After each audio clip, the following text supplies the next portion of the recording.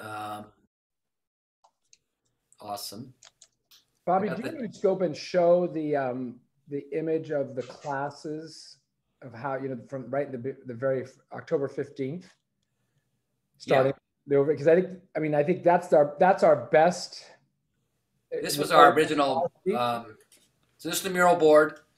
Um, I'll I'll do the link just one more time just to make it convenient for folks. Good. Have it in the chat if you want to go wander around on your own. Um, this is what people said early, right? Uh, the faculty, the staff, the departments, kind of what they were thinking in terms of uh, where it was coming from. Then we did a little bit of a question. We didn't uh,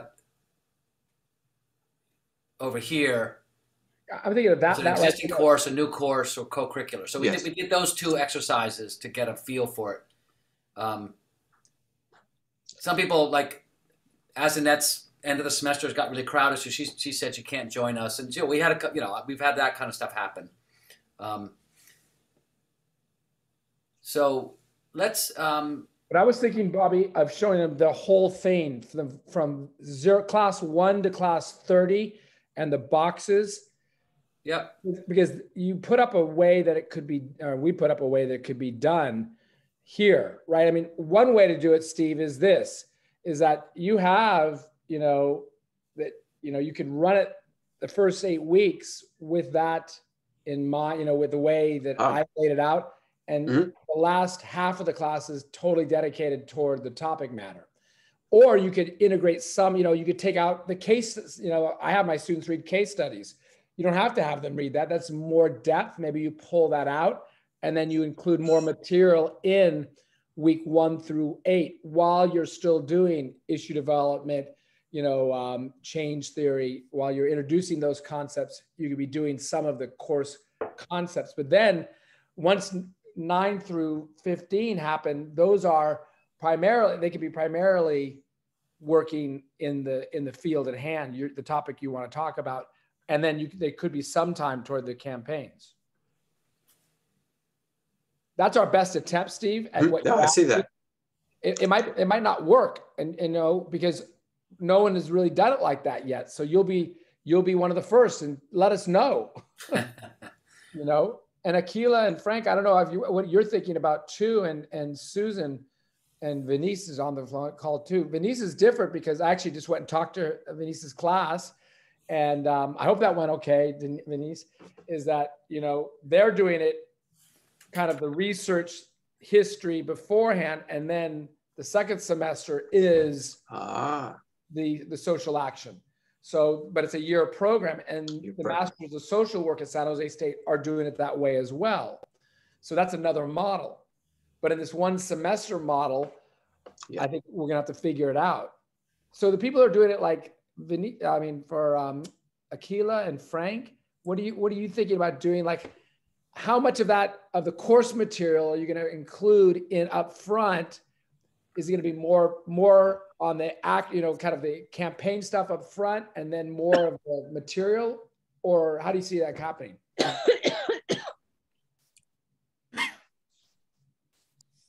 For me, forgive me, it sound. I'll be yeah. teaching it in the semester.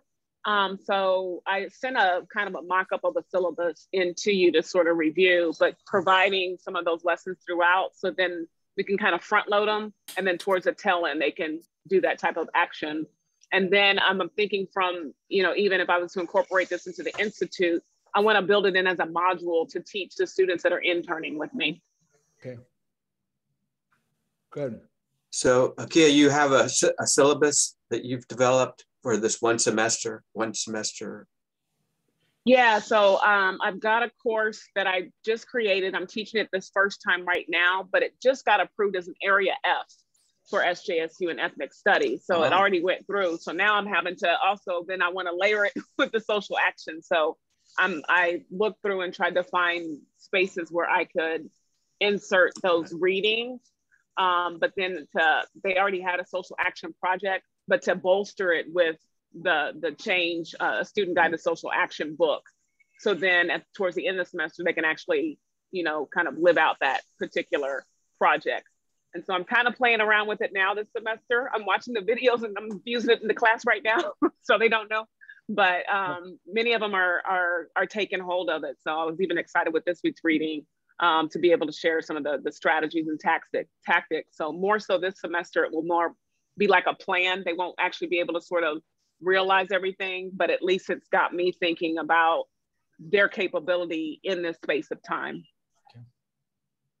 Keela, that that that um, that that ex- that experience of the first time you teach it, not everything happening, you know, not being able to squeeze it all in. That ha- that happened a lot with uh, other folks. Miriam Shakow, who, who we've had a, um, she was on that thing the other night. First semester, she goes, "Oh, I didn't get the campaigns didn't get started until week. You know, they didn't even choose their their issue until week four or five, and therefore they ran out of time. So each time you go through, you make those adjustments, and and the managing time is one of the big ones.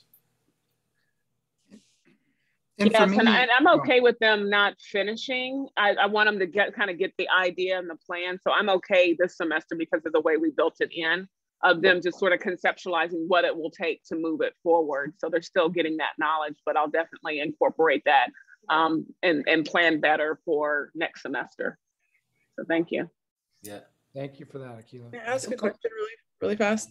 Um, I'm just curious of whatever everyone else is going to do, um, what their classes look like. Meaning, is it are you meeting your classes two two times a week for an hour? So mine is once a week for three hours. So um, I'm thinking of breaking it up like each hour um, to those three hours, like you know, teach a lesson the first hour, second hour, third hour to try to get everything in because I only get them once a week. So I would just, as Stephen said, two times a week. Two times a week. I don't know what everybody else is doing. I prefer teaching wise, educationally, two times is better. You try to jam everything into one, and uh, it's a lot of work too, once a week. You know, and even with the two times, you know, you could another way to do it and I think I at some point I even tried it was like more of like one second um, more of turn that off more of the kind of the theoretical in the class on the Tuesday and then on the Thursday could be more of the action so you can kind of do it that way too so then it may be the the first half you do that and the second half you do more of the action it sounds like yep you know if you're looking at this chart, each box is a is a is basically an hour, hour and fifteen. So you may be able to sort of visualize, not using this exact setup necessarily, but just visualize how you might block it. You know, um, so if this is actually a, a week uh, rather than two classes, that's one class but covering two topics and mm-hmm. really interesting. Uh, in a way, you have a little bit more. Well, no, you don't have more time. So, an hour and fifteen, an hour fifteen is two and a half. You may be a little bit more time than some of the other folks have in total. Uh, Scott, in your classes, roughly when you're doing the in that earlier part of it, um, how much time per class? You have an hour and fifteen minute class. How much time per class is group work time? Do you give them? Well, I, I try to say twenty to thirty minutes, but like yesterday, the conversation went long. We were talking about BLM and we're talking about you know, the, the, the tactics and strategy. And then we went longer. And so they had five minutes. And then I actually wrote them an apology today. I was like, so sorry. We are supposed to give more group time. First thing will be next time. So that kind of thing happens where, and it can happen the other way too, where you don't get to the reading because yeah, if you start with group time, it, it, it might just be that expansive. But I try to give them 20 or at least 15 to 20 where they're in a small group and they can at least brainstorm. Yeah. But that hasn't been always the way it was. Sometimes it was a half an hour on a on a Thursday too. It's yeah. just a, you know, I think you're gonna have to all figure out what's the right flow for you all. Does anyone else want to add on this conversation? Then we'll, we'll go on with the com- the topic of the day. Yeah, I wanted to add something, Scott, um, to your initial question, which um, was having me think about the portfolio assignment, which yeah. I really liked as an instructor, I've never assigned that to a class, but as a student, I remember um, participating in, in that type of a coursework and feeling real like accomplished and proud of what I did. So um, yeah, to integrate that into the into the classroom, and then I think that's where I can find the balance between the social justice, social action literature um, versus you know the the class content and the materials that I have. So um, you know it'll be you know partially the kind of theoretical lens, but then also maybe those case studies or any other articles or chapters that I would regularly assign to my to the class, right? Without the social action component. So I think that's where I can kind of make up some of that ground and, and play with it a little bit, right? Like um, maybe this class I'm emphasizing it uh, a lot, or I can assign it where they have to go over it themselves. And so I can kind of have some of that leeway to be able, hey, this week, you know, maybe not so much 50 50 in terms of my lecture or uh, the setup of the, the makeup of the class, but um, maybe I'll do 70 30 or 60 40. You know, I can kind of have that maneuverability. So I, I think the portfolio kind of lends itself to that flexibility. And um, I'm definitely um, set on um, and using that as one of the tools. And what's interesting about that, Frank, is that just now, now we're just about to do our third set of portfolios. They're doing them right now. And they're just now getting, oh, what you're wanting me to do is to, to explain the text, you know, analyze it, and then apply yeah. it to the camp. That's what you want. I'm like, yes, that's what I've been saying from like a long time ago, but they're not used to doing it. And I, am actually thinking of doing it. I usually, you know, by the second portfolio, they kind of got it, but I think we're still in COVID times. So I might even give them where the third portfolio, I'm going to weight it more, the third set, the yeah. set, like where they end up.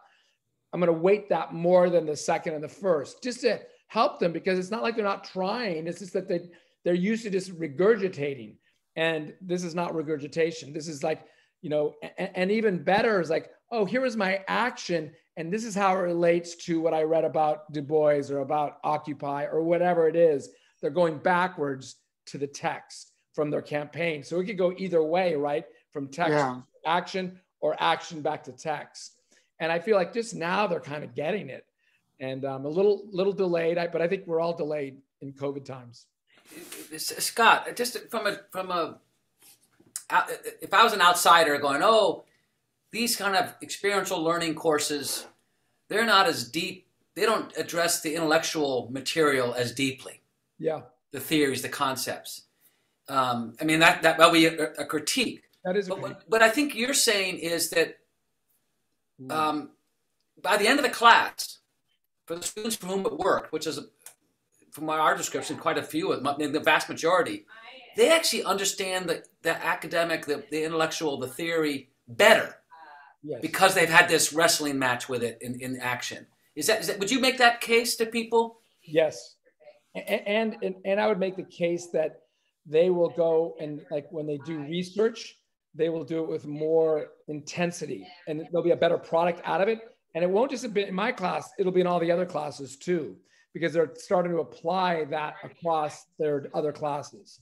So yeah. absolutely, my experience. Yeah. Scott, yeah, uh, uh, uh, you know, one of the things that we're trying to do, Bobby, can you show that? One of the things that just for the future is we did it for the first time. We had the three professors that are teaching social action across the country, one at Middlebury Institute of International Studies. It's actually uh, in, in Monterey, uh, who at the master's level another course at the College of New Jersey, and my course. And we had 30 plus participants from the students on that call. It was uh, extra credit from my experience. I, I was giving, I gave them extra credit to do it, but there was a cross fertilization of ideas of, of their tactics and strategies and of their issues. And we're hoping to do that. Do you want to show them that one? I showed them the. Um, so, so there's the they're the campaigns. They're the campaign flyers.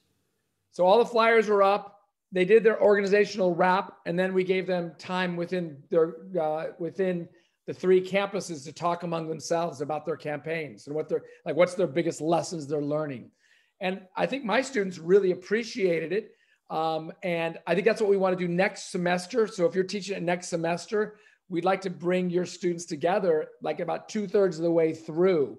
And they, my students started seeing the interconnections between particularly the Monterey programs that were working on homelessness and how on housing issues, as well as period poverty, which is an interesting concept. So, super excited. Hopefully that that's something that you can work into your your course syllabus for next semester. And we called it just to give it some gravitas, the a, a national summit, our national college summit on social action. And the students really like they were excited to participate in across the country. And it'll even be more so next year semester. We probably have maybe closer to 10 classes. So that just lets you know that's coming. And, and I'll post that. I'll post a. Uh, I have to edit that a little bit just to get rid of the junk, but I'll post that um, probably next week some point. Um, and and Sue Sue was on that w- with us, which was wonderful. Yeah. He joined us. I'm not sure if you're there, Sue. I see your image, but um, yeah, yeah, I'm here. It was great. I uh, it was really it, it was it was fun to see the students get together and and do these two minute pitches um, which is a hard skill to master, and they did a great job. Yeah, it's on page 1661 if you want to look at the change book on the organizational rap. And in my class, we do one every class, no matter what. And um, and some students like they don't, you know, you know, when we always say what, what what did the person do well and what were the challenges? And like sometimes I say the challenge is that you know you need to you need to say what your name of your group is, and you didn't say you didn't include where you can get a hold of you and you didn't say maybe where your next you know event was going to be. So they they get better as they do them because i continually go back to how to do an organizational rap and kind of the the eight points of that. So and i do it and it takes like just two or three minutes and it's just like again they they get it like student centered this is not this is not you know centered outside the student. Like we're it's our thing rather than the professor's thing so let's talk about today the tactics and strategy. You want to bring that up, Bobby? I don't see it on mine. Yeah. So this is just just to just to situate us. We've got this session and two more. Uh, we move those into into later January, so you see that there. Um, we're not going to meet. Um, have I got this wrong? I think there's one day in yeah. There's one, I've got this wrong. Yeah, my my mistake. There's one. There's one more day here. It's December 10th, um, I think. Yeah. So I'll, I'll, I'll fix that. Yep. Um, but we're we're we got the campaign kickoff next time. That actually is is December 10th. So we're missing one week, well plus the holiday, and then we'll do the campaign plan the 21st, and then the final session, which is what I'm missing, it will be there. Um, yep. And, and, just to add to that, if you go back just a little bit, like this is right before, like, okay, they're about to say to the campus, and particularly if it's, a, and I had, you know, five new campaigns, like, which was a challenge. There was a lot of new campaigns. You know, they're announcing we're we're we're here, and I would say out of my class, really, we had six campaigns to start. One of them collapsed, so five campaigns. We've had one, two, three three do you know kind of kickoff events where and and, and all of them got press um, and um, uh, so it's been and the last one just occurred this last week the students against mass incarceration. They held a rally and a march and as we get to the rally and the march we'll talk a little bit about what they learned about the rally because if you're going to do a rally you got to have 20 people and that takes time to get 20 people and they try to do it in a week. So that's a hard pull off to do and we could chat about you got to give yourself a little more time to get maybe 20 people there. You can't do it within a week. Um, but they, they learned good lessons. So this is, as, as we go into like the, the campaign kickoff, which is really kind of the blast off of the campaign, you know, you're, you're making a public statement, you know, we're, we're, we're to the community, whether the campus and the larger community, we try to get press there. It's kind of like telling the public what you are. And we generally like to do that as close as we can to the decision maker or the target to their closest to their office if we can, if it's if it's a particular person. Can you is it over a little bit, Bobby? So I can see the stuff on the left. And these are the and and and in preparation for that kickoff, we want to say what are the strategies and tactics that your campaign can use. And the stuff in the green up there are the strategy. I don't see it, Bobby, on mine. Uh, you don't see this up here, legislation, alliance building. there. Now it's there. So legislation, so the first two, it's really legislation and policy. Those two are those two are key because you're either trying to change a policy within an administration, usually within some institution, and or you're trying to change and bring a new law.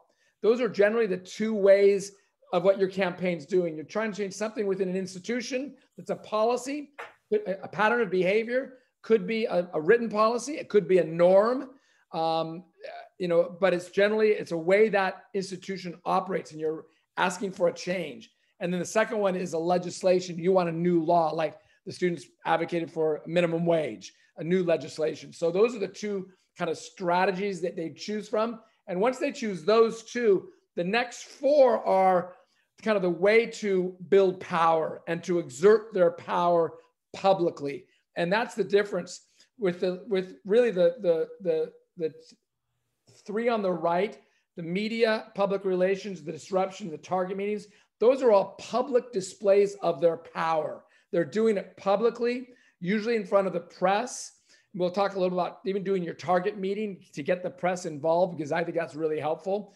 Because if you do a meeting and have the press there to hear your answer, that's some, that puts again pressure on the target. If you do it and no one knows about it, there's no pressure being put on the target. By the way, the target doesn't like it very much, but that's we'll talk about that later.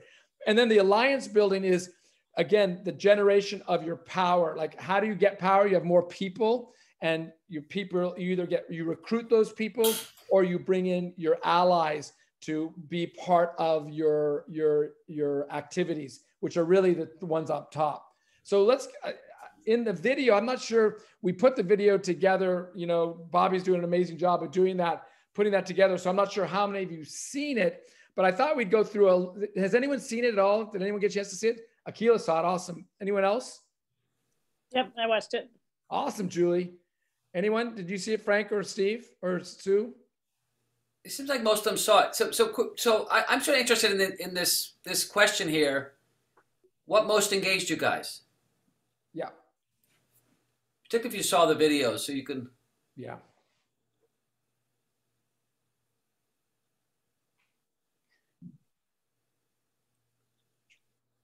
So, what are those? So, Julia, start with you then. Yep. You call no, I just was it Akila? I don't know who you said. Uh, yeah, go ahead, Akila. I would just say the the variety or the combination of strategies and tactics, and and even kind of understanding the differentiation, but then how you can sort of use them in different ways. Because the thing I was thinking about, I'm in sort of in the sports sector, um, and I know a number of our students are, you know, do 5Ks and things of that nature to sort of raise some sort of awareness. So just to even sort of see um, those particular options. But then even the the theater I thought was interesting. I'm like, how would they act out some of this um, as well um, with their efforts? But I like the fact that there are um, a certain amount of strategies, a certain amount of uh, tactics. Um, I'll probably take from the reading and create some sort of grid so they can be able to sort of see and differentiate the the different types and then the different ways that they can possibly sort of pick and choose. Yeah, because under each one of those, like under media and public relations, each one of those has six or seven things you can do or tactics. And I, as I say in the in the reading, I mean, you know, you they're like on page 48 of what I what I sent you all or what you had a chance to read is that it's like cards in a you know you're playing a game and you have a deck of cards and you you can play you can play a certain card at a certain time and sometimes and i always say start low another metaphor you know, is the deck of cards. Another metaphor is a burner, and you want to turn the burner slowly up on the on the decision maker. You don't start at you know the highest heat. You start at a lower heat, and then turn the heat up. And there's all sorts of reasons we could talk about why that's important. But as you turn up the heat, but if you play the right card at the right time, even a two of diamonds can be powerful, or a two of spade, right? It can be powerful in, under a certain situation. So a campaign um, rally as a kickoff event, if played right, can be put so much pressure on the on the candidate that they they force them to act. If and, I, and I'll give you some examples of that. You wouldn't think just holding a press conference would force the the target to respond, but it can. And a, and a and a rally is a really low level of heat. You know, it's not you're not occupying any space. You know, no civil disobedience. There's not it's not high level, but if played right, you can put a lot of heat other folks about what what engaged them of yeah, that of uh, Julie. Yeah, I think that the idea that one of the things that really resonated with me is the students being comfortable asking for things or sort of demanding things. And so, like, turning up the heat is one way, but just to get them comfortable with making putting pressure on others and recognizing that doing so doesn't mean that they're a mean person but that they have something that they care about that they want to see come to fruition. And yet i think oftentimes their reticence as undergrads is they don't know exactly how to operate in that world and how to make those asks without feeling like they are you know disagreeable people. So i think that's a really it really resonated with me. And i think all of the strategies are to be able to remind them that this is how you demonstrate your power, not necessarily how you upset the power makers, even though those people may not agree with you, but these are all skills that you can use in order to do those things, which is a foreign, I think for even my political science students at Macalester is sometimes a bit of a foreign concept, like the idea of exerting some sort of power or expecting those that have power to listen is uh, very eye-opening for them. Well said. I agree with it all.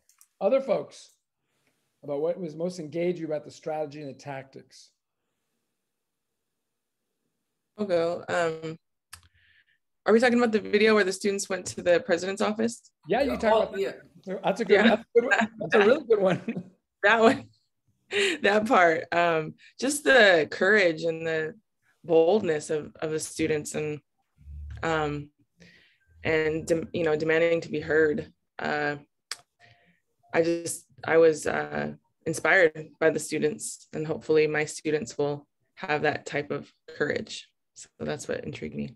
So are you referring to the ones for there was students for racial justice when they when they went to the office of the president and the president wouldn't receive them and so they put on the door their demands or are you referring to the student homeless alliance which was a 15 minute video which they actually show them preparing for the meeting and then walking over and then sitting in the president's office with the president coming in and the president asking the press to leave. That that too, but I think it was the one where it was sweat sweatshops. Sweatshop, that one, yeah. Yeah. Well, um, and that's interesting one, Venice, because they didn't plan to go there. And it was the university nervous because she had heard it was the brand President Mary was just brand new, and she had heard about the students doing this, and so she sent her chief of staff out to meet with the students and said, "Would you want to meet right now?" Because she did not want to get in a situation where they were, you know, pressing her, and um, so they had kind of learned. And so the students asked me, "Should we meet?" I'm like, eh, you know, again, this is your thing, but I recommend you take that meeting. And so they said, "Okay, let's go." So they went in there and then I well, I saw you in there. How do you deal with that as the professor? I mean, I, I know you're full. I mean, you just I just I'm just thinking as you know, an assistant professor, what would an assistant professor do at that time? Um well, I think I think um, as I did when I was going up for tenure, because my students did do things, mm-hmm. and um, I definitely um, would go back I don't do it anymore, but I did, I did it more to make sure that people didn't misunderstand or misconstrue my role in it. So I was very aware of my, you know, being seen as like, like, for example, my students did take over a stage of a very important professor that was speaking and they took the stage and they shut him down. Mm-hmm. So like, I didn't, I didn't, my students did that, but I didn't say they should do that. They did it on their own, right? so I made it clear that the students were acting on their own accord, not based on what I was suggesting. So I think that's the kind of thing I did to protect myself to get tenure. Mm, okay. Thanks. Yep. Other folks. That would be my concern is the um, potential for uh, misconduct happening and, and uh, we have the union where I'm active with the union, our California Faculty Association.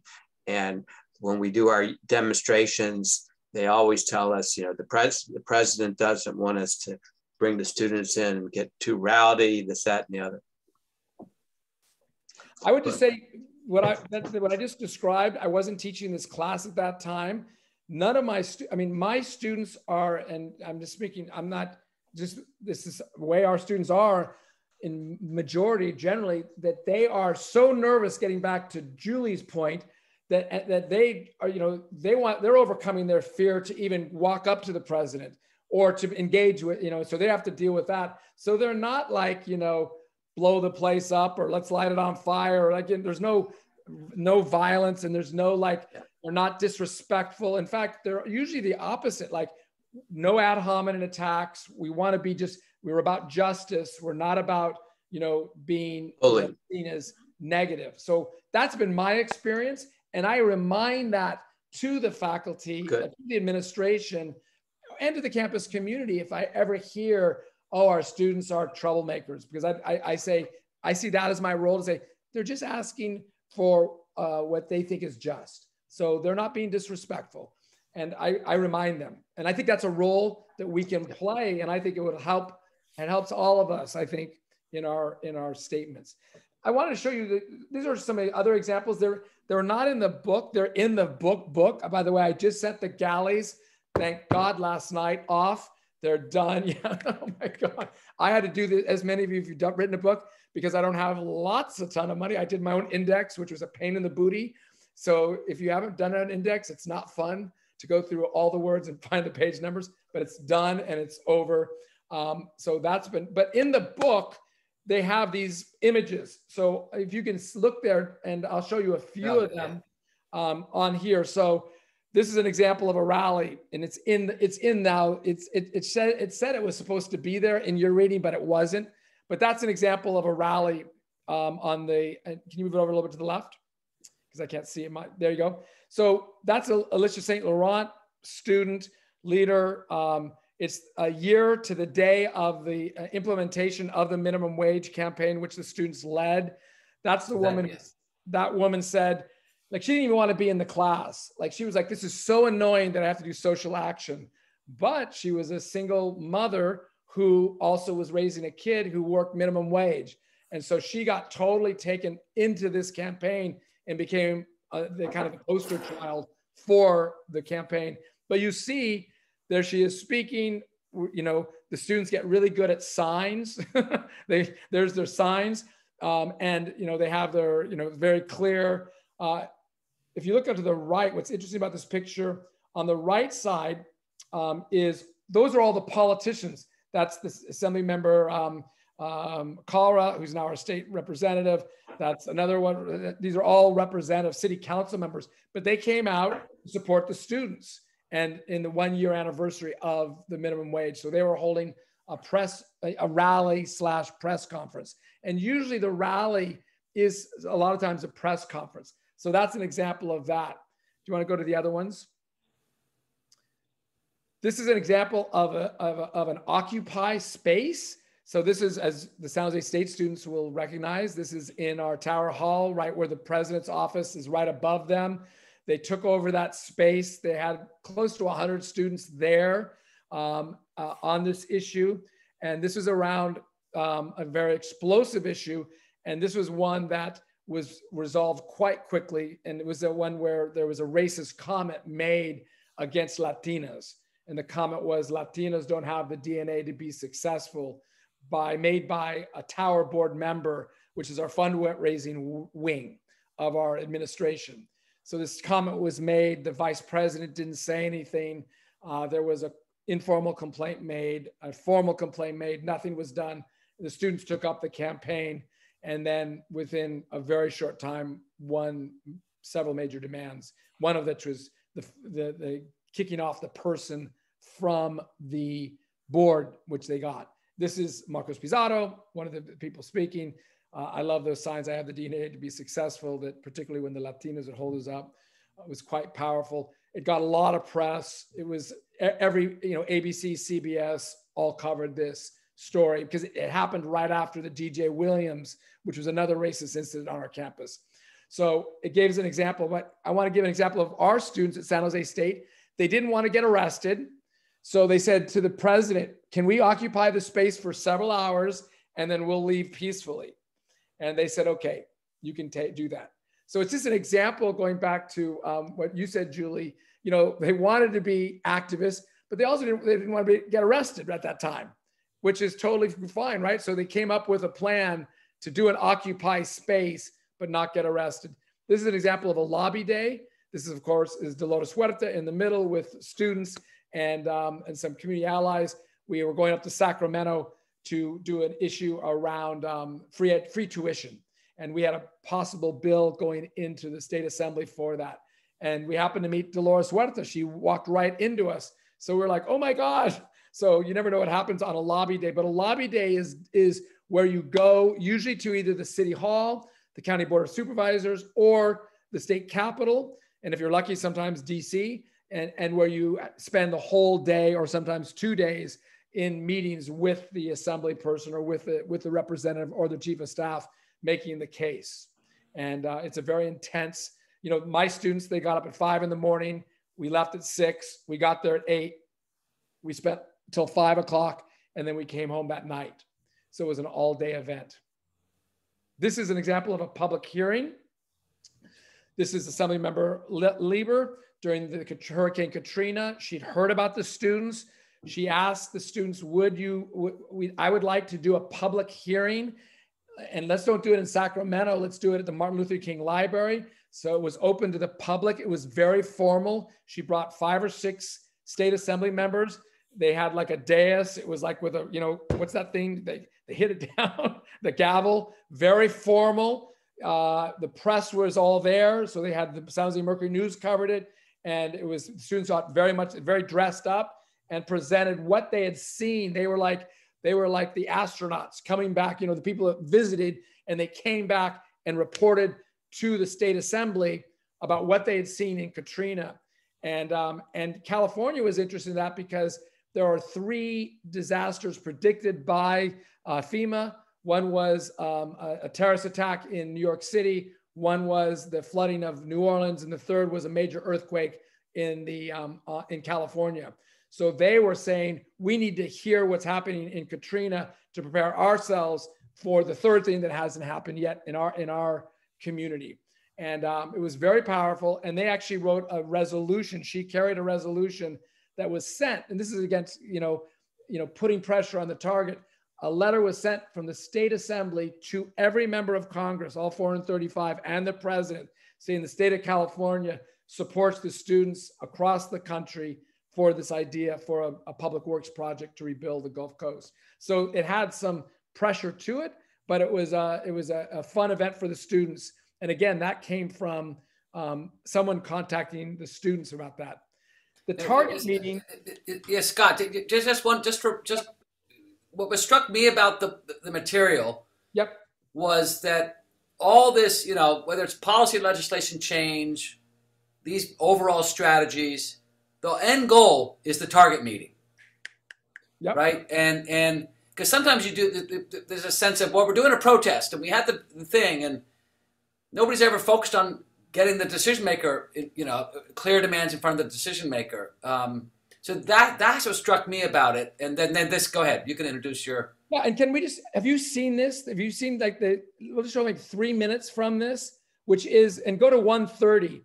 And I just want you to see them preparing for the meeting because, and this is a, I mean, you'll see my role in that. They're leading the meeting, but I'm there in with them as they're preparing for their target meeting with the president, which took them four months to get, by the way. Um, that's, of course, in our beautiful DMH building.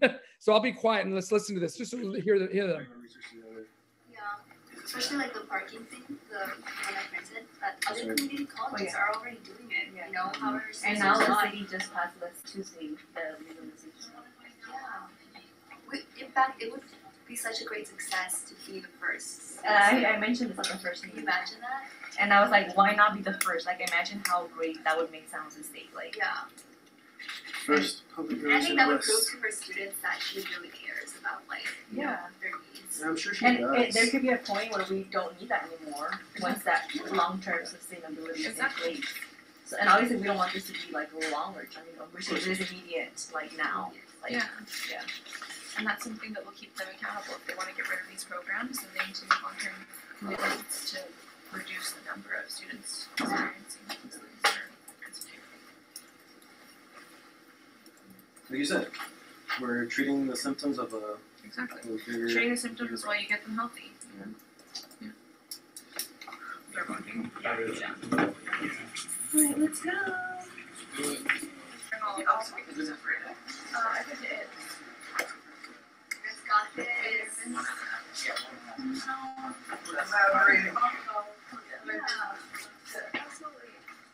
How do you feel, Myra? Huh? How do you feel? I'm a bit nervous, but I'm excited because we've been waiting for this moment. So I'm hoping that we're gonna get some positive outcomes from this, um, or at least have a clear understanding of what the school's going to do. Alright, so I couldn't print it, it wouldn't let me in, so I go do it. Or, I don't think it's that important. Is it, uh, Myra? Are we allowed to set up a You want the print? Okay. What? Like, should we not bring the canopy? Um, in front, maybe not the canopy. Yeah, maybe just leave. Yeah. Or let's- Okay, so what about the, uh, what's in the other positions there? Um, I think it's fine. Yeah, that should be fine, let's say we have over a thousand petitions from change.org. And besides, they've been Most receiving, students. they've been receiving emails. Do you need, Yeah, um, both two of? The emails for like each petition. Do they get that, really? Yeah, It goes to them? yeah. Wow, that's pretty cool. I think there's one. Alright, oh, you got a good pick.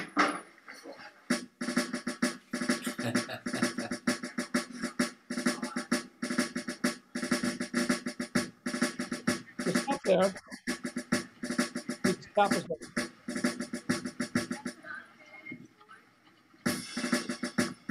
Stop Bobby. Yes, go.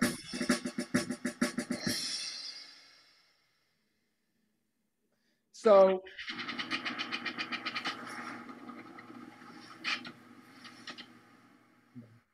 Hopefully people will come. You guys wanna take a group picture before you go in? Yeah. Yes.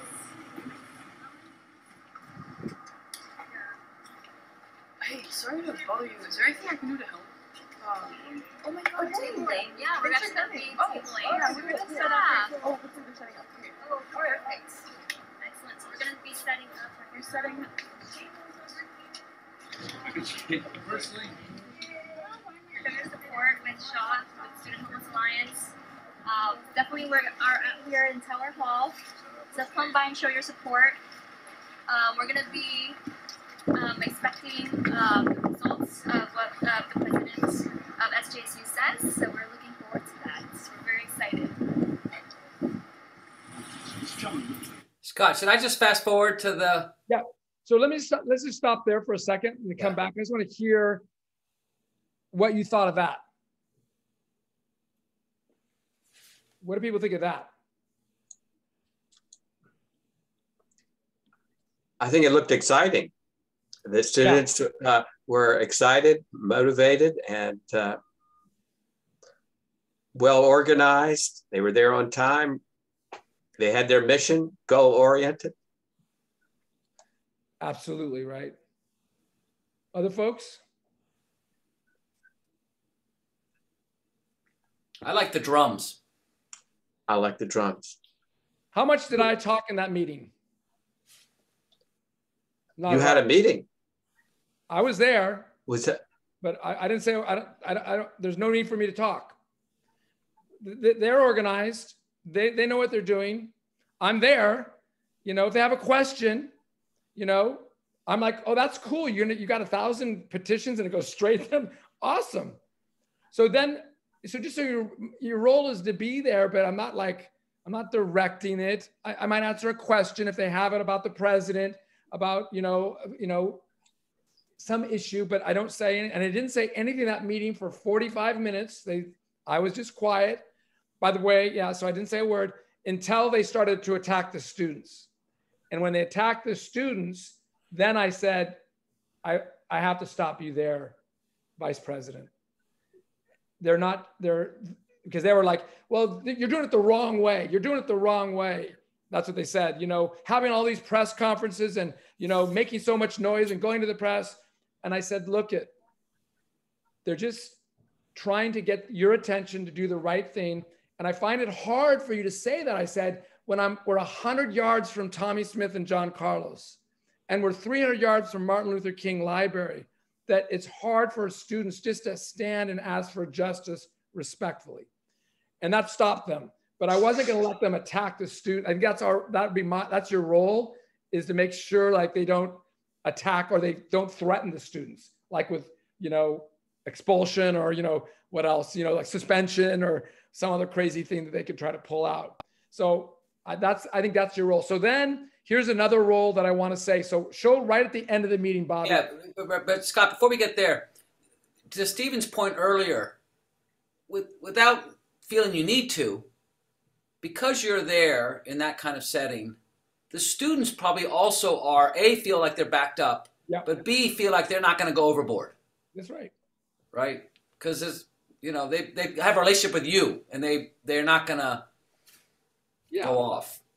And, and they're and I think what you said, Stephen, they're really well prepared because they know and they were way better prepared than the president and the VP for this meeting.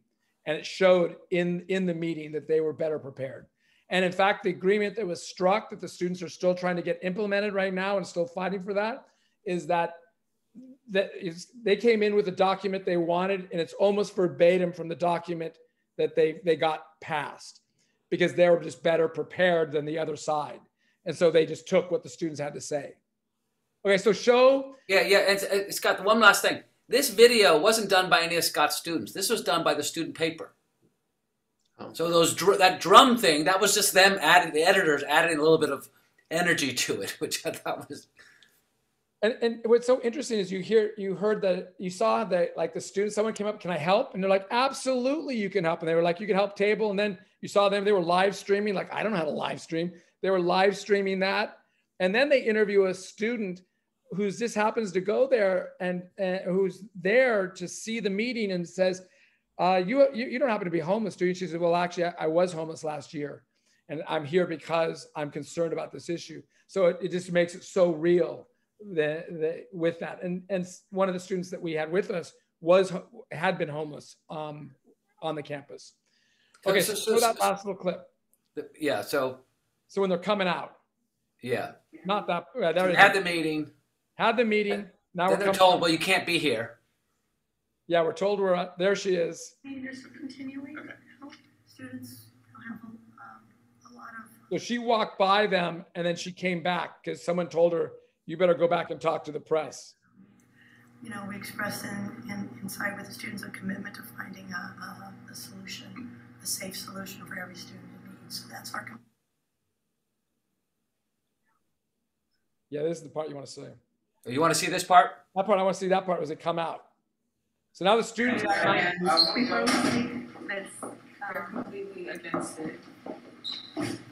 They don't want to give the students a place to park their car. they said it'll cost too much.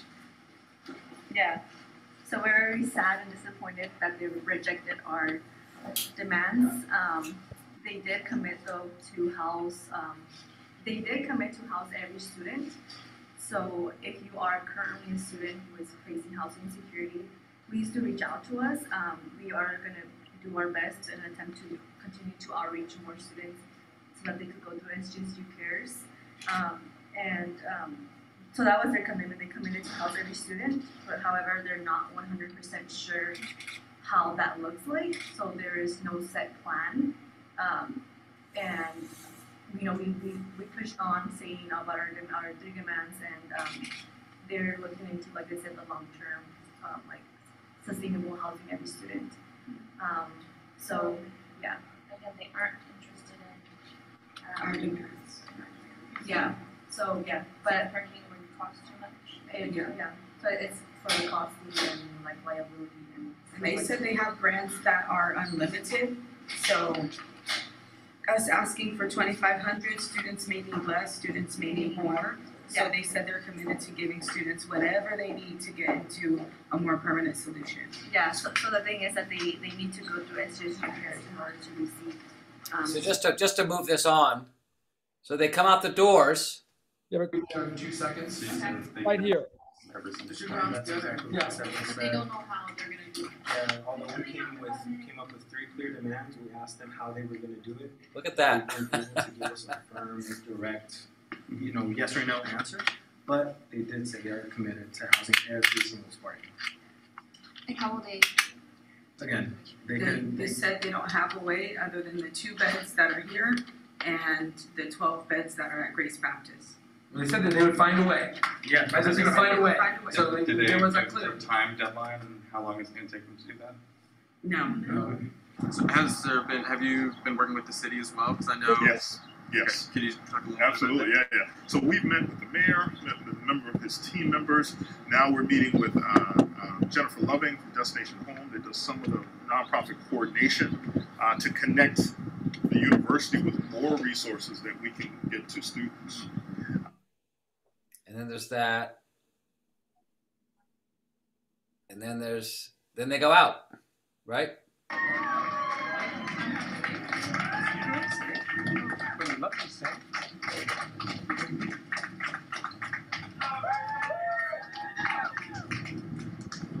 So uh, one, the one thing I think is really when you go back and watch that video, hopefully I've watched the whole thing, which is this: the students that come around the corner. I mean, one is that I help them process when you watch the video, and that's your role is to help them process like where are they right now about that what they just heard.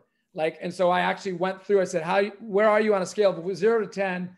With like zero being the you know feel like it was a total waste of time, and ten was a success where are you? So they did a quick check in. And then I said, okay, this is where you are.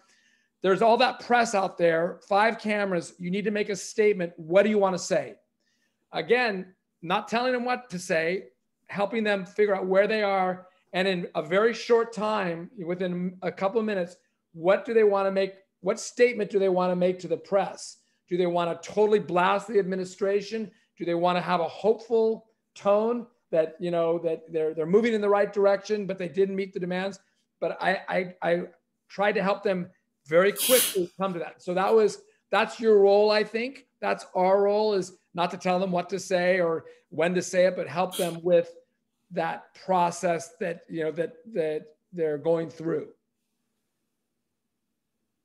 It was very exciting, by the way. They were on every major station again. Um, nothing happened for six months until they continually did nothing. And another explosion happened on the campus, and they decided to meet and agree to all the student demands. So sometimes, when you, even when you lose, it's it's not over. that campaign took four semesters. Four semesters. And so it's still going on in the in the, in the photos. I don't have them uh, right with me. The photos of the students at that press conference. Totally different students and the not the same spokesperson anymore. No, no. Somebody who now the, some of the students stuck with it behind you know on the on the overall student group, but the the the next set of students were the leaders, right, uh, Scott? That's uh, really really interesting, right? So a campaign that doesn't get won't doesn't only win in the in that first go through. Uh, those students come back. There's a campaign book, which is the last thing they hand in. So the next group can pick that up as one of the choices. And and and the student that was probably the quietest of all of them is now become i call her she's now my new myra. The one that myra that you saw there who was this incredible leader who was very quiet transformed into this leader. And now we have a new myra. Her name's lana.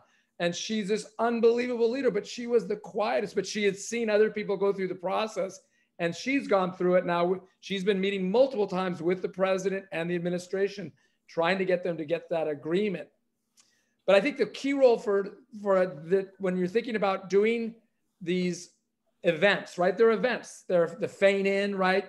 We didn't talk about the Feign In. You did a street theater. My students are going to do another street theater just for the San Jose State students. Uh, for the folks, they're going to do a uh, they're going to do a, a press conference, but they're going to do a bit of street theater before they do the press conference to try to draw draw some attention.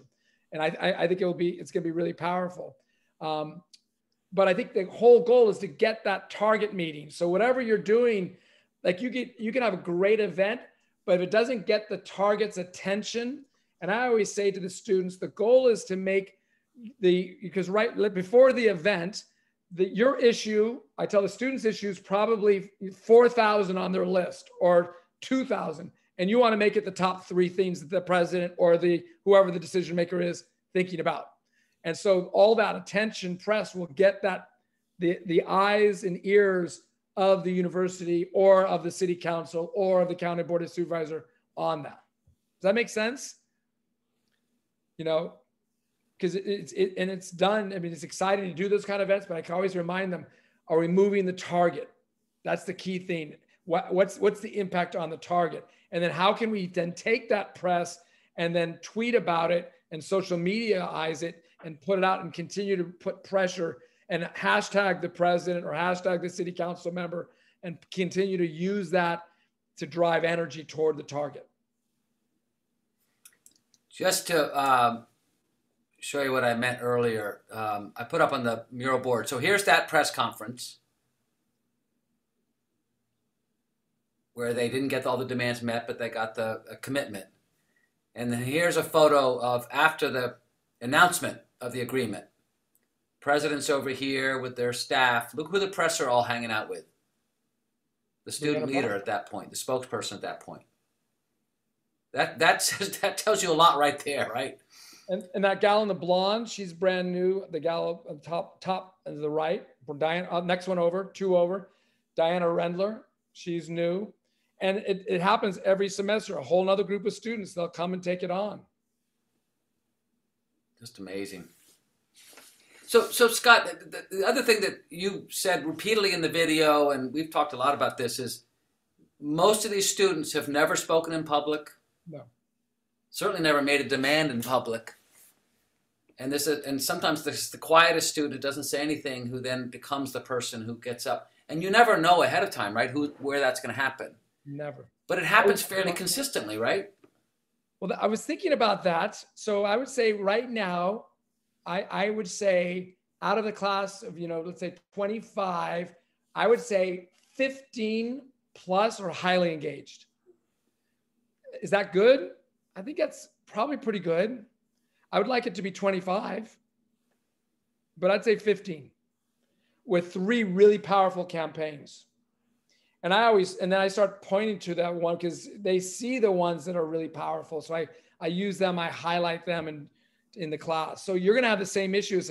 And then for the ones that are not doing the work, I'll give you an example of this one campaign that's just, they're a nice group of students, but they just haven't done the work. So I just sent them a nice email two nights ago and said, you know what? I really like you all. I think you're all fabulous people, but we have to be honest with each other. You, you ha- you're not doing the work. And it's clear that you, you haven't, you don't have the commitment, you don't have the energy. And it's sad because your group could have really brought and still can bring about a major change. This is for um, to have a um, an art installation for the Filipino farm workers, and um, I I, I kind of challenged them nicely, and one of them they met afterwards with me, and one of them spoke to me and then t- he sent me an email and said thank you for that. We we hear you. Like I didn't yell at them because they're busy. You know, our students are really. Busy. But, I didn't, but, but, I didn't chastise them, but I let them know if they continue to be on this path, they're not gonna they're not gonna get they're not gonna even do an action this year. So they've planned now an action for December 1st or 2nd, which will be their first kind of announcement to the community that this group exists. And one of them has said they're going to continue on next semester. So that student will have to then come back and make a pitch to the social action students to keep that campaign going, at least in my class. And so maybe Scott, on that on that on that point, um, with uh, with two things. One is like Venice, your students are all already they're all professionals. They're not full time students, are they? They are uh, full time students and full time teachers. So then you have this this interesting challenge. Okay, you have a three hour class, and um, once a week, so there's time for them to do teamwork there. But Scott, that's never enough time. They still need to do, besides the actions, they need to be doing teamwork outside of the classroom. And in my class, is going back to Steve's point too about how much material can you cover.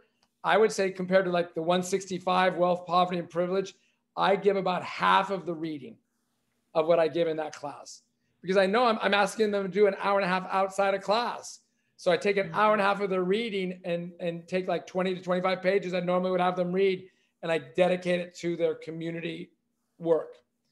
So I have, I'm going to be designating uh, three Saturdays um, next semester to meet with my students outside of outside of class. Good. Um, to give them time to do what they need to do.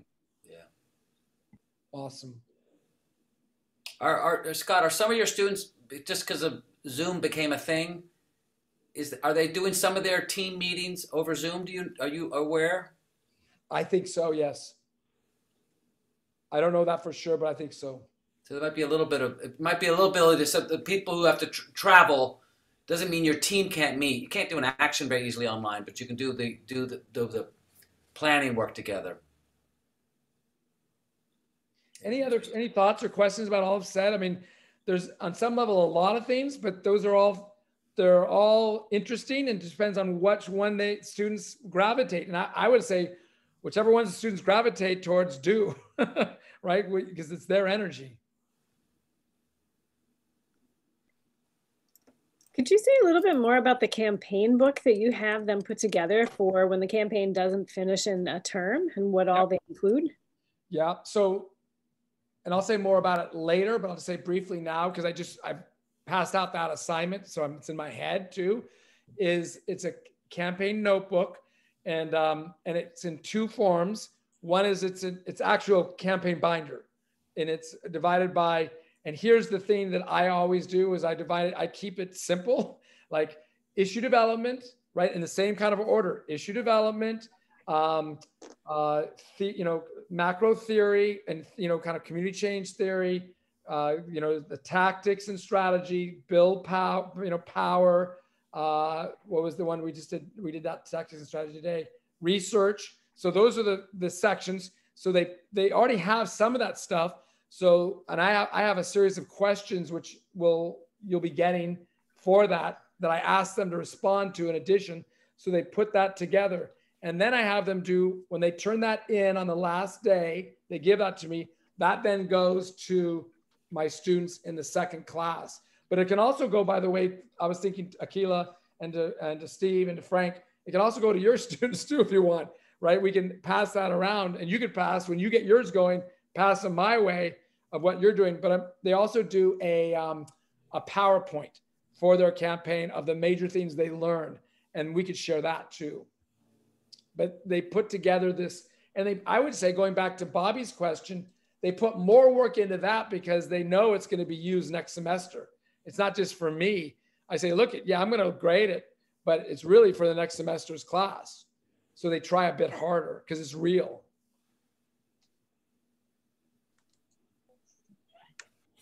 Got cur- uh, curiosity. Uh, I assume your university has to follow the FERPA laws FERPA regulations.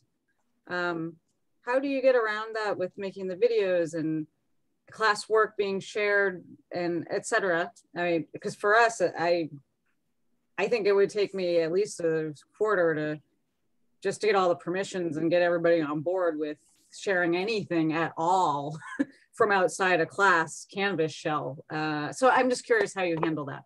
Well, like what my, any conversation I have with my students, like if I'm like all, all, my conversation is blind copied, like so no one ever sees like when I'm talking to students that no one ever sees like any other emails.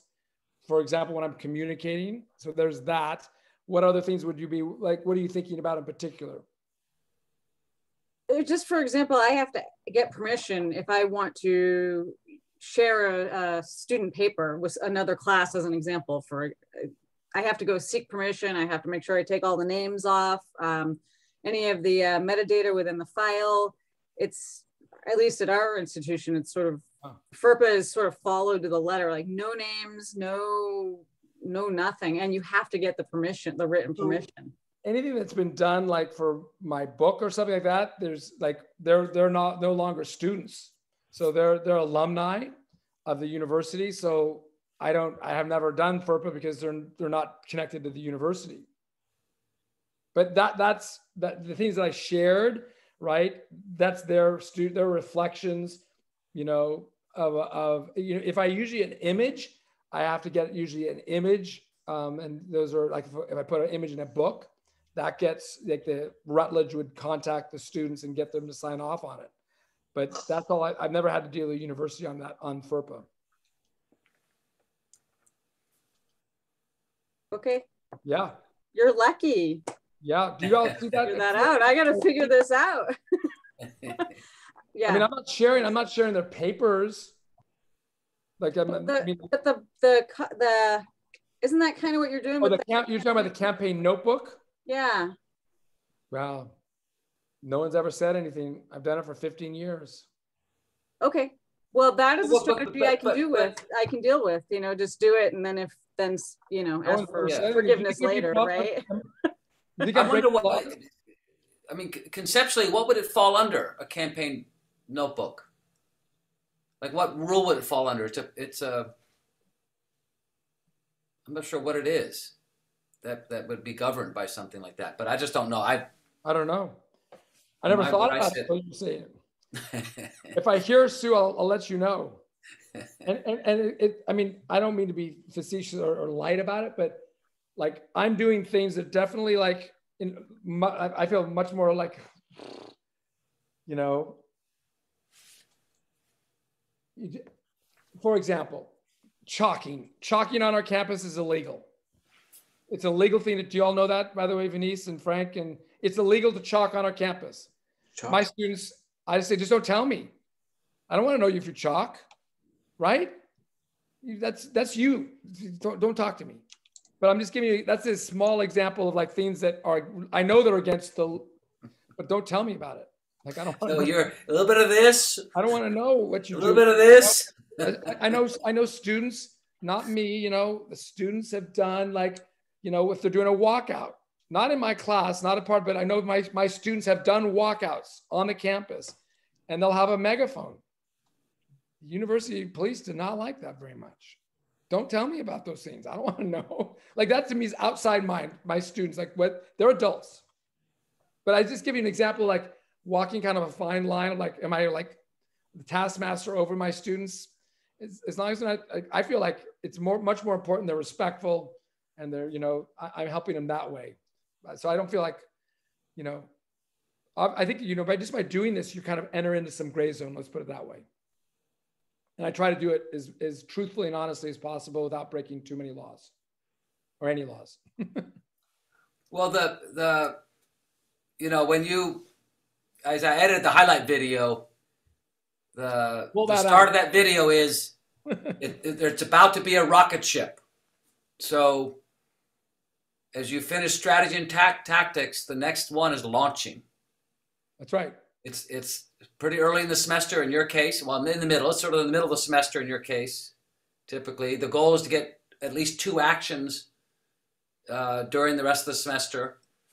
Um, so it's just this is where we are, right? This is this is the the big thing that's happening, um, and we'll talk about that the next session, which is which is December tenth.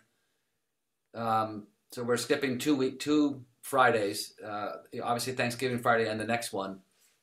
We'll have one more session before uh, the big holiday, and then we come back and um, and have a um, uh, sort of the you know one more session before we before we finish up. So just jumping over here for our dates.